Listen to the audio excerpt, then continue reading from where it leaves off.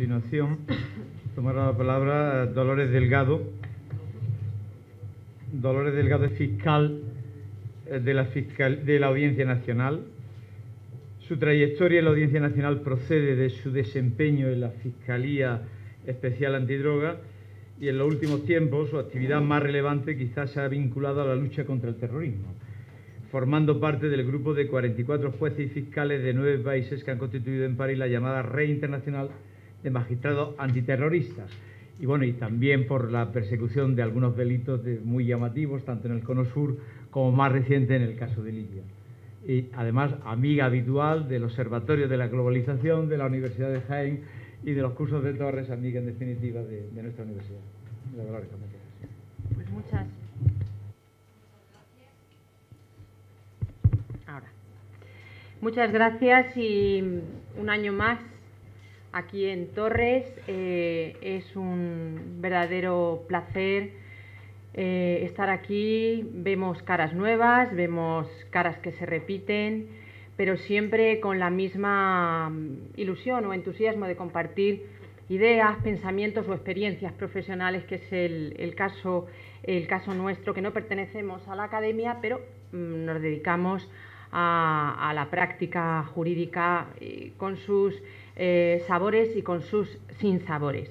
Decía Fernando que era un intruso, habéis visto que no es un intruso, que ha enriquecido considerablemente la mesa y nos ha dado una visión eh, esperanzadora, mm, pero con un cierto toque de amargura. Em, yo eh, hoy os voy a contar una historia que a mí me ha dejado muy satisfecha este año. Creo em, que aunque solo haya sido mm, por esta historia mm, de derecho, de derecho penal, de cooperación internacional, pues eh, ya ha valido la pena y, paso inmediatamente a, a contárosla. Eh, antes de eso, eh, decía Baltasar que se investigan crímenes contra la humanidad, aspectos económicos o no. Hay que decir que detrás de todos los crímenes contra la humanidad, detrás de todos los genocidios, detrás de todos los crímenes de lesa humanidad, hay siempre, siempre intereses económicos absolutamente siempre. En algún momento se ha hablado de genocidios económicos por la motivación. ¿Por qué se quiere destruir a un grupo o a una parte de ese grupo? Pues como decía Baltasar, pues porque están en unas tierras con una riqueza increíble, por ejemplo, minera, y hay que echarlos. Y hay que echarlos como sea, amedrentándoles, asustándoles, haciendo que se desplacen, persiguiéndoles. Por lo tanto, eh, los crímenes eh, contra la humanidad se cometen en su inmensa mayoría por motivos económicos, por poder, pero también por motivos económicos. Y lo hemos visto en Libia y, lo vimos en, Libia y cuando le pedimos explicaciones a la comunidad internacional en relación, decía el Fondo Monetario Internacional, y yo le digo a la comunidad internacional, ¿qué pasa con Siria? ¿Qué está pasando con Siria? ¿Por qué estamos permitiendo que siga esa mm, continua goteo de muertes. ¿Qué pasa con las armas? ¿Dónde está ese tráfico de armas? Bueno, y vamos a dejarlo a un lado, pero era un, apuntalar un poquito lo que había dicho Baltasar, que estoy completamente de acuerdo con él, pero creo que siempre hay una motivación económica en un crimen contra la humanidad. Os decía que me siento este año enormemente satisfecha. Y os cuento por qué.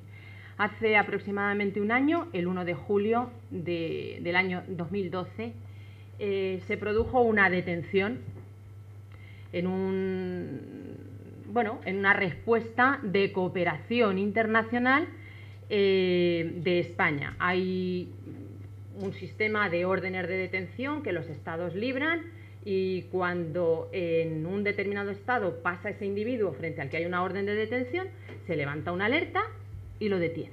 Bueno, pues el 1 de julio del año 2012 detienen a Falciani. Os cuento quién es Falciani, que lo habréis oído en medios de comunicación. Pues este muchacho, eh, un, tipo muy listo, muy inteligente y muy preparado, joven, eh, informático, trabajaba en el HSBC de Ginebra. Este hombre eh, allá por el año 1997, decidió hacer una cosa, que era copiar un montón de archivos informáticos de más de 130.000 clientes del HSBC en Ginebra. Bueno. ¿Cómo? Es, el Hong Kong Bank. Es el, está diciendo Fernando que explique que no es un coche, es el Hong Kong Bank. El HSBC es un banco eh, internacional que opera en un montón de países, que tiene mucha fuerza, bueno, es el cuarto banco mundial y tiene eh, su sede, una de sus sedes más potentes e importantes en Suiza y específicamente en Ginebra. Entonces este hombre en el año 97 empieza a em, copiar información y lo hace hasta el 2007.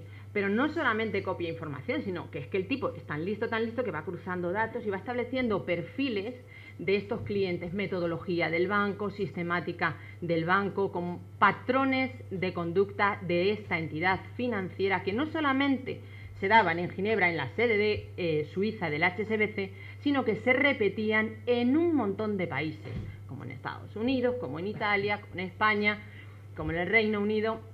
Entonces este hombre, dicen los, eh, los suizos, que pretendía vender en eh, Líbano, concretamente en Beirut, toda esta información, pero no llega a vender nada, no llega a vender nada. Simplemente se produce una denuncia del HSBC contra él y las autoridades suizas lanzan esta orden de detención, se le detiene aquí en España el día 1 de julio del año 2012 y lo llevan a la Audiencia Nacional. Como bien decía Fernando, bueno, pues tenemos participación no solamente en terrorismo, crímenes contra la humanidad, narcotráfico y tal, sino también de cooperación internacional.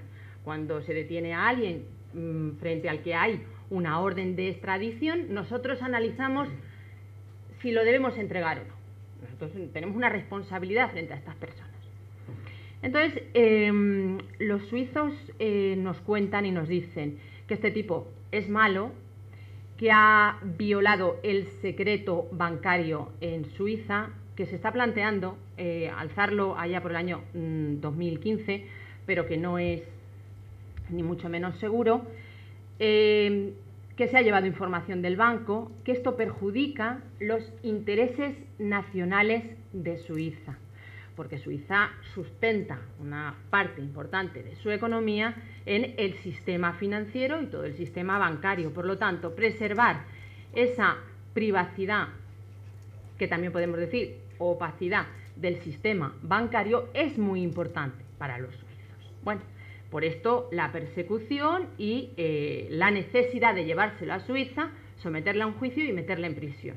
Y decirle a todo el mundo que esto no se puede hacer. Cuando llega a España, cuando le tomamos declaración a este hombre, eh, claro, yo lo primero que digo es que es verdad, ha cometido un delito. Nosotros tenemos una cosa parecida, que es la revelación de secretos. No sé si hay estudiantes de derecho o abogados o bueno. Tenemos revelación de secretos y revelación de secreto comercial. Eh, si comparamos el secreto bancario que ellos alegaban y el nuestro, pues sí, es verdad, tenían razón los suizos. ¿Qué hacemos? ¿Lo entregamos o no lo entregamos? Pero aquí entra la segunda parte.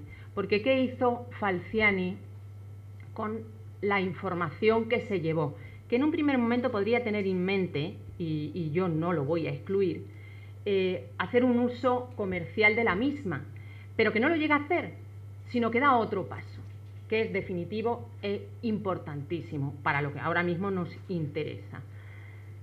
La pasa primero a los franceses. Y los franceses inician un procedimiento judicial por evasión fiscal, frente a un montón de evasores fiscales. Además, da información a los italianos. Y va a Italia y tiene allí con la Fiscalía reuniones, se inician procedimientos y empieza a levantar la alfombra de todos los tipos que estaban defraudando a la hacienda pública italiana. Pero además de eso, se va a Alemania y en Alemania hace lo mismo y se va a Estados Unidos. Y os voy a contar ahora la historia de Estados Unidos porque todavía es mucho más bonita que la que sucede aquí en España. Y en España también a nosotros, a nuestra agencia tributaria, se pasa información, ya habréis oído, de muchísima gente que había sacado la pasta a Suiza de una manera muy grosera, porque no pasa por el pago previo de impuestos, y esto nos afecta a todos. Y ahora sí que entramos ahí, en la vulneración sistemática de derechos humanos, porque mantener una opacidad del sistema financiero es mantener un fraude global. Y si tenemos entidades financieras que dan cobertura a eso, tenemos entidades financieras que vulneran sistemáticamente derechos humanos, porque nosotros necesitamos desarrollarnos y para desarrollarnos nosotros y un montón de pueblos en este planeta necesitamos dinero y necesitamos contribuir, cada uno en la medida de nuestras posibilidades, no solamente los trabajadores por cuenta ajena, no solamente los profesionales o los trabajadores autónomos. Todos tenemos que contribuir y por lo tanto no podemos permitir que existan esos espacios lúgubres sin pagar impuestos, etcétera, etcétera. Bueno, pues este hombre, gracias a él, aquí se levantaron un montón de millones no me hagáis caso, pero casi 10.000 millones de defraudación eh, en España. Entonces la alternativa es, ¿había cometido un delito Falciani? Había cometido un delito en España. Y yo dije, no, no ha cometido un delito en España. Y no lo ha cometido porque tenemos que hacer una valoración de su conducta más allá de eh, los estrictos términos literales de la ley. Literalmente se había llevado secretos de clientes del banco. ¿Pero qué secretos eran? Eran secretos que nos afectaban a todos, porque lo que estaban haciendo era ocultar, ocultar fondos y ocultar una obligación que tiene todo el mundo de declarar Hacienda, porque todos somos perjudicados de esa acción. Y él colaboró, y colaboró de una manera efectiva, y colaboró materialmente, y entregó un montón de información, y se levantaron un montón de actas de eh, Hacienda, y se levantaron, se presentaron un montón de querellas, y se siguen presentando, y sigue colaborando, porque sigue colaborando con la Fiscalía, y sigue colaborando, y por lo tanto aquí no cometió ningún delito. Y la Fiscalía, en este caso, eh, en el juicio oral eh, que realicé yo, me sentí muy a gusto defendiendo eh, que Falciani no debía de ser entregado a las autoridades suizas, que había cumplido con un deber de denunciar una eh, actuación fraudulenta de una entidad financiera que se lucra precisamente con esa opacidad que contribuye, que contribuye a vulnerar derechos fundamentales y que además después se ha demostrado que no solamente en cuanto a evasores fiscales, y ahora os paso a contar el asunto de Estados Unidos. Eh, gracias a la declaración de Falciani, se inició una investigación por la subcomisión del Senado de los Estados Unidos.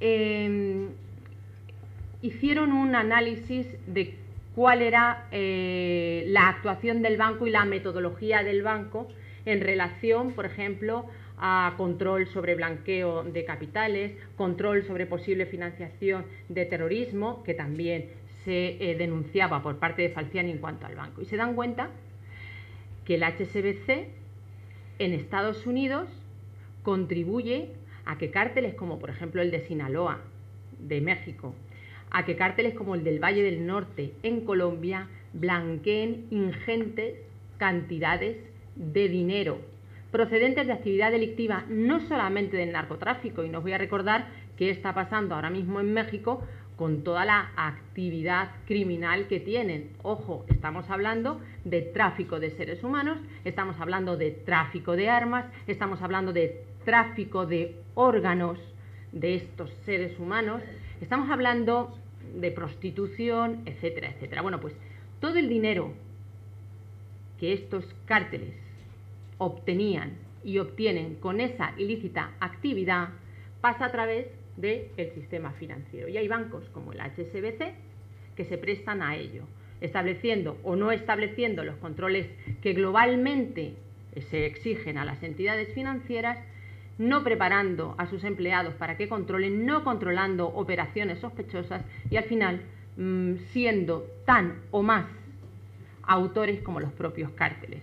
Yo dije en mi informe que el HSBC era un paraíso fiscal en sí mismo, porque el HSBC funciona en el mundo entero consolidando sus propias cuentas, funciona aquí, funciona aquí, funciona aquí, todo bajo el mismo em, actividad y patrón de conducta. ¿Eso qué significa? Que el HSBC, con su sistema y su metodología de actuar, permite a estas organizaciones criminales que se nutran de los bienes y del dinero que necesitan para seguir funcionando, para mejorar sus actuaciones y además para hacerlas más fuertes.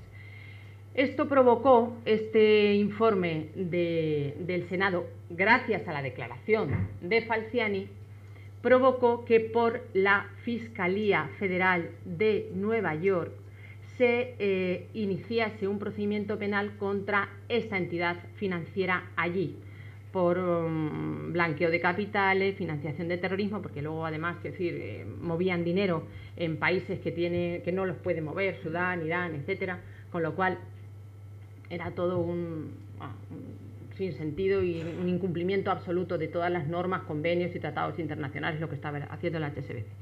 Y entonces inician un procedimiento y llegan a la conclusión de que es, le hacen una primera propuesta a la Fiscalía de que tienen responsabilidad penal. ¿Y qué hacen? Pues llegan a un acuerdo. Un acuerdo, hay posibilidad de llegar a estos acuerdos en los que se les impone una multa penal, también hay una multa civil por los daños causados como una especie de perjuicio, una multa penal, una multa civil, y luego una postergación eh, de posibles acciones o enjuiciamiento de los directivos del HSBC.